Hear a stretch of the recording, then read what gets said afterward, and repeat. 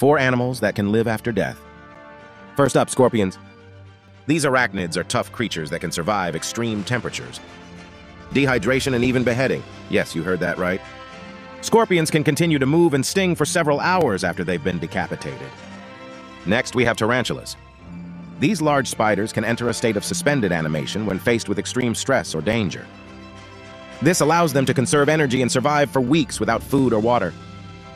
Tardigrades, also known as water bears, are tiny, eight-legged creatures that can withstand extreme conditions, including extreme temperatures, radiation, and even the vacuum of space. They can enter a state of suspended animation, similar to hibernation, and survive for decades in this state. Some fish species, such as lungfish, can survive for extended periods out of water by entering a state of estivation.